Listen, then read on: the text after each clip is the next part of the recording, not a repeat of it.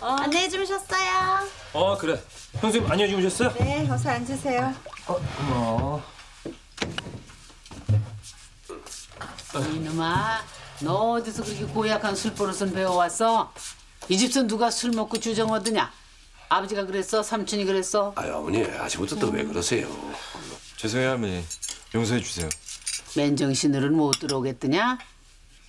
그간 편안하셨어요 할머니? 음, 우리 집 장손이 나갔는데 이 집서 편할 사람이 누가 있어?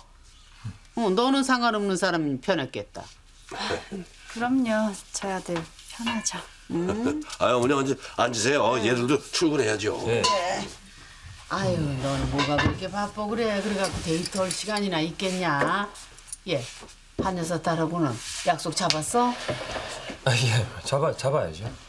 아 오늘 당장 전화 걸어서 잡어 세월아 내월아 하다가 내년에도 장가 못 간다 예.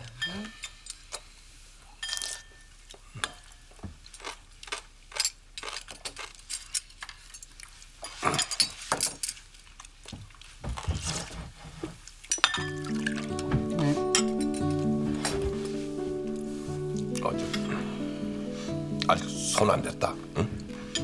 응. 속이 빨리 풀려요. 자식이 상전이다 상전. 이놈아 마누라는 의복과 같고 부모는 수족과 같다고 했어. 의복은 빨아 입을 수도 있고 사 입을 수도 있지만은 부모는 바꾸지도 못하고 잘라내버리지도 못하는 거야. 우리 어머니 아주 아침부터 문자 쓰시네요. 왜 나는 뭐 문자 좀 쓰면은 안 되냐? 어서 식사하세요. 저, 지환이요. 오늘 짐 챙겨서 집으로 들어온대요. 아니 그럼 뭐 도로 나가려고 했냐? 아 짐 챙긴 거 힘들면 나 퇴근하고 좀 도와줘. 아니야. 내가 할게. 저기 밥 바쁘면 엄마하고 내가 저 챙겨올까? 아니에요. 제가 해요.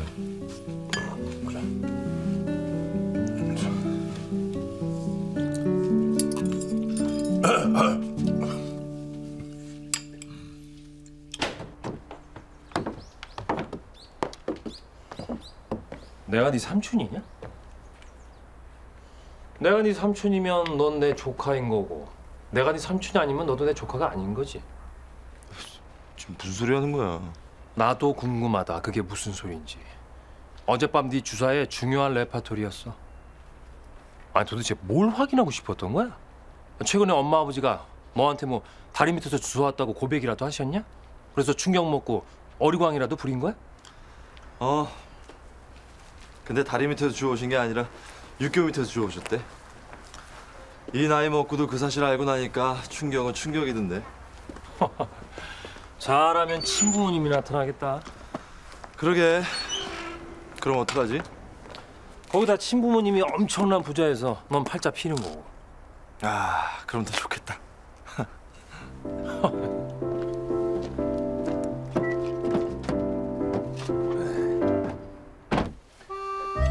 그래도 넌 내 조카야 임마. 난 네 삼촌이고. 네 친부모님이 나타나도 그건 바뀔 수 없는 거야 임마. 왜? 감동 먹었냐? 좀 그러네. 하긴 내가 삼촌을 좀 많이 사랑하긴 하지. 어이구 용돈 주면서 키운 보람 있다. 우리 삼촌 최고. 야, 그 소리 진짜 오래간만에 듣는다.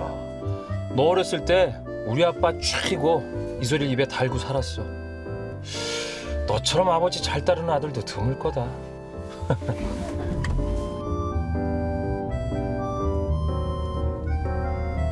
내가 너 참 많이 부러워했다는 거 알고 있냐? 뭐가 그렇게 부러웠는데? 우리 형님 같은 분을 아버지로 가진 거. 배 아플 정도로 부러워했어, 임마. 그분이 우리 형님인 게 다행이다 생각하면서도 그런 아버지를 둔 네가 참 부러웠어. 네가 이러는 데는 분명 이유가 있을 거라고 생각해. 뭐 말하지 않는데 굳이 캐묻고 싶진 않지만 이거 한 가지만 알아둬. 아버지 비참하게 만들지 마.